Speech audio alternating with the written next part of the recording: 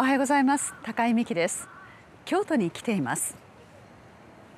今日はビルなどの建て替え事業を軸に大手不動産会社3社に次ぐポジションにまで成長した企業のリーダーに迫ります。この社標に見覚えのある人は意外と多いのではないだろうか。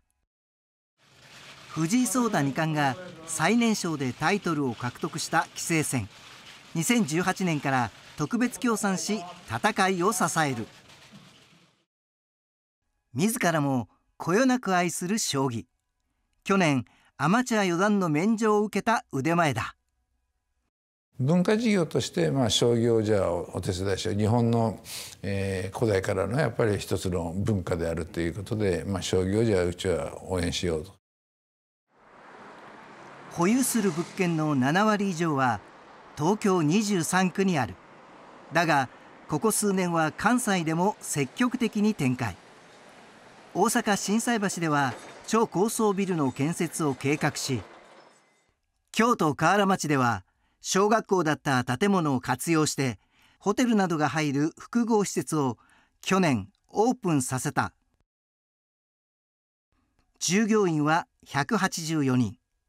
前年度の経常利益は不動産業界4位の956億円と収益力には定評がある大切にしているのは変革とスピードだやっぱりこれだけ時代が変化している中においてのんびり考えてたんじゃダメで今だから DX とかいろいろと言われてるっていうのもやっぱりそのスピード感っていうことをやっぱり求めてるんだろうなっていうふうに思うんですよね。社員が誇りを持てる会社に。その願いを胸に次なる一手に挑むリーダーを追った。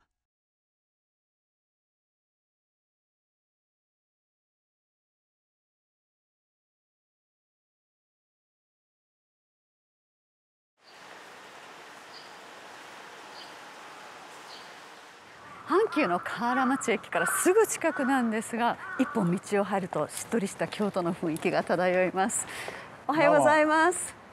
毎日放送アナウンサーの高井美希です。今日はよろしくお願いいたします。西浦です。こちらこそよろしくお願いいたします。お願いいたしますこの建物ヒューリックというまさにその社名がついていますが。まあここはあの元あの立成小学校っていう、はい、京都市の市の小学校だったんですけども、ええ。えー、まあコンペがありまして、ええまあ、ヒューリックが一応それを当選をしたという形でですね。あそうですか、まあ、あの1階には地元のいろんな関係の方のあの施設があったりするんですけど、ええ、まあ、基本はうちの上にホテルを作ったっていうことが一番ベースですね。なかなか図書館もあるんですか？ありますね。いいですね。8階まで来ましたけど、ね、ここ夜バーなんかで皆さんで飲んでいただこうということで山並みがこれ圧巻ですねこの景色は。これ多分この前にその高いものができないっていうことなんでこの景色はずっと多分見れるっていう形なんだと思うんですよね。はい西浦さんは必ずその土地をあの見て確認されるということなんですけど。まあ、不動産業としては当然の話で、ええやっぱり河原町から大変近くてですね、その川も流れててなかなか面白い場所じゃないかなっていう感じしましたけどね。どうしてもキューリックが手がけている物件って圧倒的に東京の方が多いんですけれどもそうですね。やっぱり最近は結構えー、観光関係が中心なんですけども、えー、まあ、あの京都に他に、えー、アップルさんなんか入ってるビルを持ってたりとかですね。で今度大阪のあの心斎橋に新しくホテルを作るというような形で、えーまあ、今後その大阪でえー、多分あの万博が起きたりとかですね、まあ、そういう意味では大変楽しみな場所っていうふうに考えてますけれども。やっぱりここを手がけてよかったなという。そうですね。やっぱりちょっと今コロナの問題がありますけれども、うん、コロナが収まればやっぱり京都奈良っていうのは世界的にもやっぱり大変な観光地であるんで、えー、まあ、ちょっと時間はかかるかもしれませんけれども、はい、ま間違いなく復活する場所じゃないかなというふうに思ってますけどね。そのヒューリックの強みはどういった点ですか？ヒューリックの強みっていうのは人様と違うことをやるっていうこれがもう最大の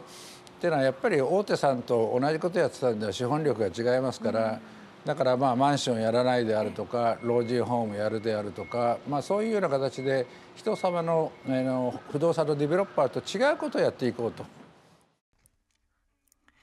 1957年日本橋工業として設立当時は旧富士銀行今のみずほ銀行の店舗ビルを管理などする会社だった。みずほ銀行の副頭取から今の会社の社長になったのは2006年。次の年今の社名に。社長になって以降ビルを次々と購入する手を打つ。その数実に400棟以上に上るそうだ。日本橋工業っていうのは、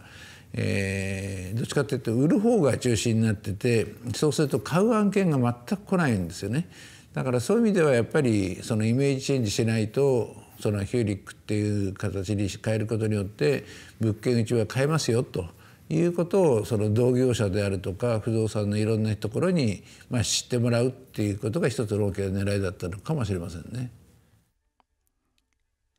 社長になった2年後目標に掲げていた東証一部上場を果たす。その後はホテルや旅館業高齢者向けビジネスへの参入など事業の裾野を広げてきた。1948年東京で4人兄弟の末っ子として生まれる。小学生の頃から書くことが好きで作文は得意分野だったそうだ。やがてマスコミ業界への夢が膨らむ。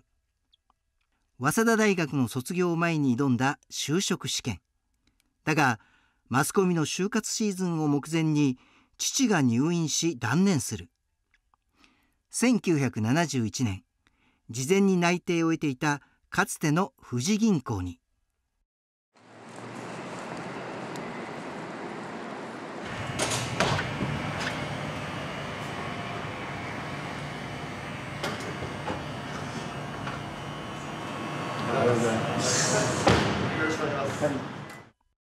まだ誰も出社していない朝7時前に一日は始まる。するとすぐに会社を出た。始まるのは日課にしているウォーキングだ。前の本社の時は日本橋にあった時は新しいビルができたりしたらそれ見に行くとかっていう。単に健康のために歩いているわけではない事業の参考になる不動産はないか常に視線は物件に注がれている。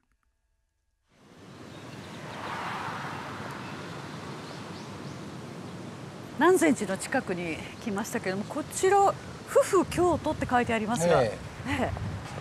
和の趣ですね。ホテルじゃなくて旅館なもんですから基本的には和の雰囲気で作ってるという感じですね。この夫婦というネーミングはどこから来たんですか？私もよく知らなかったんですけども、はい、女性が入ってフフフって笑ってでそのそれくらい喜ぶっていうことと、はい。えー、醤油の符がありますよね。符あはい、うん、一歩一歩進もうというそういうことを掛け合わせて夫婦っていう名前にして、まあ、今全部その基本的にはこれから全部作るのは夫婦なんとかってその地名地名をつけようという形でまあシリーズ的なイメージを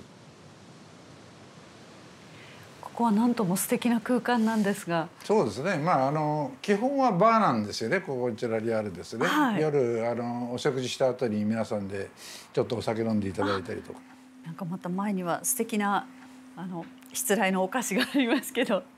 毎日放送さんのために作ってもらっ 本当ですね。これはい。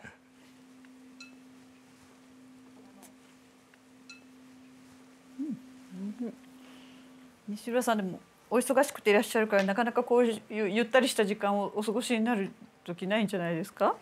これもお仕事だと思ってますから。そうですね。プライベートではなんかこういう例えば旅館に泊まられたりであるとか。あのただやっぱり我々私もその実際こういう旅館に泊まってやっぱり感じるところもあるもんですから、うん、割合家内と一緒に泊まったりして女性の目っていうこともあってそれは結構言ってますね。あじゃあ奥様が感じられたこととかこうまあ話聞いてこういうとこどうなんだっていう話ですね。ああそうですか。お庭も立派なんですけれども、もともとどういうここはやっぱり元料亭だったんです。料亭。え、それを我々がお借りしてですね、50年間もうお家賃をあの地代を全部払ってるんですけども、えーまあ、そういう意味ではそういうお庭なんかあったのを基本的にはできるだけ生かしていこうという形でですね、まあ、そういう意味でその池であるとか石であるとか、昔からの新しく作ったっていうんじゃない感じを出そうということですね。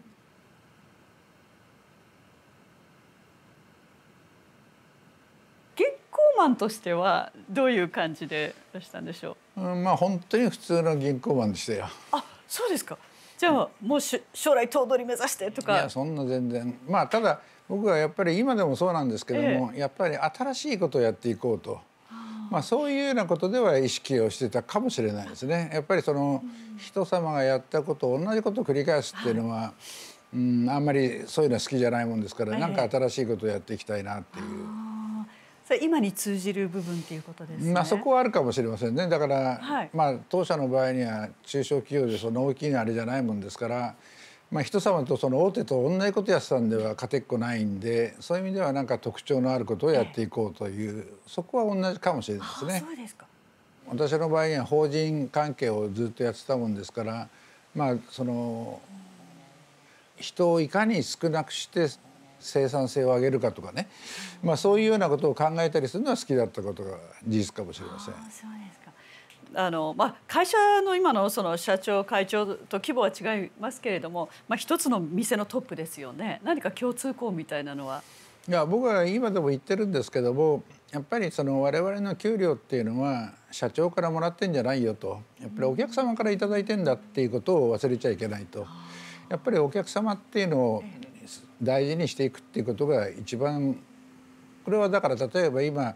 テナントで入ってる方もそうですしからこういう建物を作っていただくゼネコンさんとかそういう形もやっぱりお客様のいろんな情報をいただけるかもしれないわけですからやっぱりそこのお客様っていう意識だけは強く持ってほしいっていうことは今のうちのメンバーにも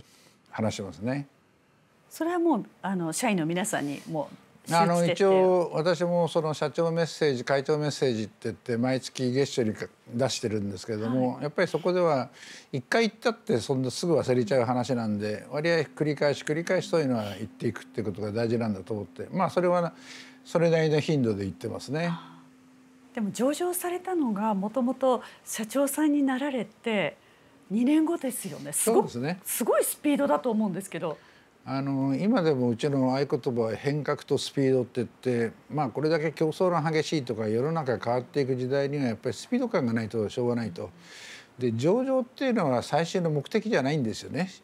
その手段でその資金調達とかのための手段であってそんなその準備にですね時間をかけるっていうのは何の意味もないと。まさにリーマンショックのまさにその年も数か月後ですよね。そうですねリーマンショックがあって、まあ、どうしようかっていうことは一時悩んだんですけれども、はい、まあその悪いとこからスタートすればそれ以上悪くなることはないだろうっていうんで、まあ、上場しちゃったんですけどね。ただでも2006年に最初にそのみずほ銀行からあの社長になられた時はあの全然その会社として驚かれたみたいな内容も終わりだったんじゃないですか？ただですね私、まあ、銀行の副頭取だって、はい、この前にヒューリックの前の日本橋工業っていう名前だったんですけどもそこは見てたもんですから大体内容は分かってた自分たちが独立してるんじゃなくてやっぱり銀行との絡みでやってるた会社ですからそのやっぱりその普通の会社っていう感じじゃなくてグループ会社でやっぱり甘えとかそういうのもあったんだと思うんですよね。大変な会社だなと思ってましたけども。ええメガバンクの副頭取から不動産会社の社長に。だがそこは大銀行の子会社という甘えが染みつく状態。培った改革力を試される時が来た。業務は銀行が保有する物件の管理。しかも社員の大半は親会社出身だ。これでは士気が上がらない。意識改革をと荒領事に出た。まずはどういったところから改革は手をつけられたんですか？えーとですねまずその役員執行役員から全員辞表を取りましてで辞表、えー、辞表出しなさいと、だから結局前はですね銀行の支店長なんかやった人はみんな執行役員だったんですけどもそれは今の会社にその例えば今ヒューリックで執行役員とかそのいろんな取締役になってるっていうのと全然違って前の会社でたまたま支店長だったからっていうことで一律になってたと、それはやっぱり本当に仕事をする人たちがやっぱりその執行役員とか取締役になっていかなくちゃおかしいというようなことでまずそこのところあれしてからまあみんなからするとまあ銀行のまあグループっていうかそういう管理会社的だったのがまあ、上場しますよっていうことによって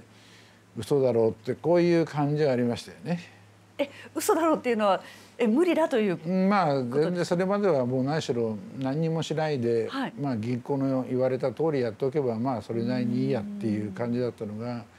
今度は独立してやっぱり上場するとなったら自分たちでいろいろと決めていかなくちゃいけないやっぱりそういうのは彼らにとってみればやっぱり経験なかったっていう。そうですねで大体不動産の部門って十何人しかいなかったんです。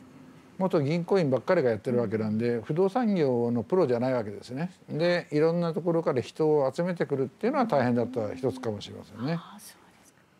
じゃあ長くその会社にいらした方たちからするとあれ？今度来た西浦社長ちょっと、そう余計なことしてくれるなっていうぐらいに思ってた人もいるかもしれませんね。でもあのヒューリックの強さの一つはなんかとても立地のいい物件が多いっていうのもポイントだと思うんですが、うん、まあ結局そのお客さっきのお客様の立場になってみると、ええ、今日みたいな気候のいい時はですね駅からその10分、まあ、お散歩がてらに通勤行ってもいいですけども6月の梅雨の時なんか雨降ってる中でですね10分歩いて通勤をするっていうのはやっぱりそこで働く人にとってみればそんなにウェルカムじゃないできるだけ駅の近くと、はい、で、まあ、駅から3分っていうと大抵駅から見える場所なんですよね。だからまあその近いところで、えーまあ、駅から近いところそれも、えー、中央5区っていう、まあ、東京の中央5区っていう中央であの港、えー、中央区ですか、はい、から新宿渋谷と、まあ、そういう繁華街のところで、えー、あればですね。まあそのお客様がテナントとして入っていただけるだから今でもまだ多分コロナの影響があっても1%以内で収まってるという状況っていうのは多分それはまあ場所がそれなりにいいっていうことなのかもしれないですけどね。でも2006年に社長になられてから、まあ、これまでの間にもう本当に日々そのもう変革とスピードというスローガンとともにもう大変だったと思いますけど中でももう数々の決断の中でこれはちょっと大変だったっていうのは何がありますか？あんまりないですね。ないですか、うん、でも決断だらけの日々じゃないですか？決断だらけなんですけども、ええ、900億の物件買ったりとか、え、それは金額大きいんですけどもそれは50億の物件になって失敗しちゃいけないんであって物件一つ一つに対してそのもう割と即断即決でここまで来られたと思うんですがその裏付けとなる何かこう直感みたいなものなのかデータなのかやっぱり直感というよりもですねやっぱりその実際のその場所に行ってですね、これは何に一番向くのかなとかそれから例えば人通りがどうなのかと。だから僕も迷った時はお昼と3時と夕方に行って人通りが変わってないかとかそういうことは見ましたね。ヒューリックでは 3K というキーワードもあるそうなんですけれども、はい、はい、えー、っと今 4K になってきたんですけどね。でやっぱり時代変わっていく中でやっぱり高齢化と健康っていうのが一つあるんじゃないかと。高齢健康はい。これは一つなんです。高齢化健康って、ね、それでセットですか？高齢と健康。で2番目が観光ですね。観光。まさにこうえー、こういう夫婦のようなそれから3番目が環境。環境。で今新しくその子ども教育っていう系あれなんですけどもまあその若い人結婚するっていう人は少なくなってきたんでマンションはやりませんけどもうちは老人ホームは多分東アジアでナンバーワンの個数を持ってると。であとはまあ観光はまあちょっとコロナの問題でこうなっちゃいましたけれどもやっぱり、えー、今世界でアンケート取ると次にやっぱりコロナが収まった時どこ行きたいかっていうとやっぱり日本っていうのが一番多いっていうことなんで、まあ今ちょっと苦しいんですけども少し我慢のしどころかなと。それとやっぱり環境っていう問題これはうちは割合早い時代から今の SDGs っていうことで環境っていうことよりもですねやっぱりそういう時代が来るだろうということでうちがだから電力会社に今度なろうということなんですけどね。あ新たにその分野にも、えー、っていうのはだから太陽光も自分たちで持つ、はい、それから小水力っていう、まあ、ちっちゃなダムなんかを自分で持つと。えー、っていうのはこれ今いろいろと話題になってる2050年にそのカーボンゼロとか言っても皆さんそのやるって言っても買ってこようと思ってるわけですね。ところが自然エネルギーが増えない限り買ってこれないわけです。はいなんでうちはもう先に1,000億投資して、まあ自分たちが電力会社になっちゃおうかというやっぱり時代時代をこう半歩先を読んでやっぱりなんかいろいろと仕掛けていくとやっぱりこれが大事なんじゃないかなとは思ってますけどね。そうですね4年前に出された本の中にあの会長としての夢は経常利益1,000億円の日を迎えることだみたいに書いてあったんですが、はい、ところがですあの今読むとえもうもうすぐそこですよねまあね、数字、えー、もう見えてきました。まあだけど何があるか分かりませんからね今。もう夢も叶っちゃいますが。うんただですね僕今夢ってその数字的なことはあれしましたけれども、はい、例えばその自然エネルギー、まあ、1,000億投資するとこれもやんなければ今収益もっと出るかもしれない。だけれどもさっきも言いましたように今っていうのとやっぱり将来っていうバランス感をやっぱり大事にしなくちゃいけないっていうふうに考えると次の世代に少しでもいいものを作っていきたいそういう気持ちはありますね。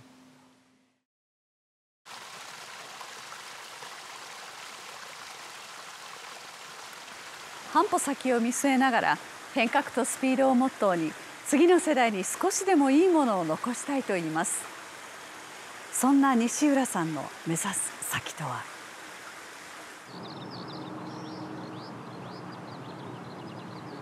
どうぞ。ここ群馬県川場村から新たな自然エネルギーが誕生いたしました。1000億円を投じて取り組む自然エネルギーの分野。その一つが群馬県川場村で今年5月に稼働を始めた川原に小水力発電所だ。太陽光っていうのがまあ一般的に今までやられてましたけれどもやっぱりその夜とか天気の悪い時は発電しませんのでやっぱりそういう意味ではこの水力発電っていうのは我々にとってみればやっぱり大きなそのエネルギー発生のですね力になってくるということでですね、えー、大変楽しみにしております。2050年までに保有するすべての物件で CO2 排出量ゼロ100%再生可能エネルギー化を目指す。さらに2020年から取り組む太陽光発電設備の強化を図り環境分野での目標達成を成し遂げる覚悟だ。それだけではない。新たなる一手がある。受験とかなんかで塾やったりあるいはちっちゃい子どもも運動っていう形で、まあ、リトミックであったりとかダンスであったりとか、まあ、そういうようなことをまあ、一つの子どもデパートっていう形でその全部をそこで一つでできると。次なる一手は子ども向け教育事業への参入だ。学習塾やスポーツ教室保育所などが入るビルを開発するという。2029年までに首都圏で20棟程度を開設する計画を立てている。最後に聞いた。西浦会長が考えるリーダーとは、えー、大きな方向感を決めること。それからやっぱりどういう状況でも意思決定をしなくちゃいけない時には決断をする。それがもし結果的にうまくいかなかったら責任を取る。これがリーダーの役割だと思っています。